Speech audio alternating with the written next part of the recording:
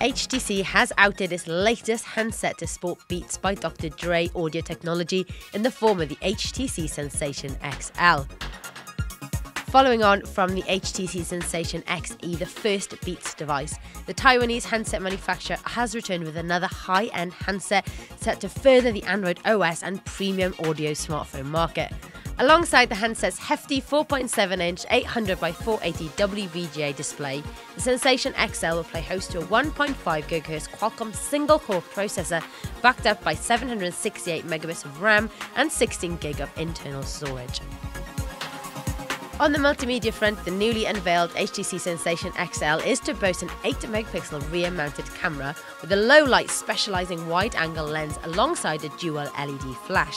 A second 1.3 megapixel snapper can be found around the front, while 720p HD video recording capabilities are bolstered by stereo audio. Packing a high end audio punch, the Sensation XL benefits from fully attuned Beats audio technology and will come boxed with a pair of in ear Beats headphones. Carphone Warehouse is the first out of the hat to announce they'll be stocking the HTC Sensation XL, and the handset will be available to buy from November 2nd. For the latest HTC news, reviews, and features, keep it locked to t3.com.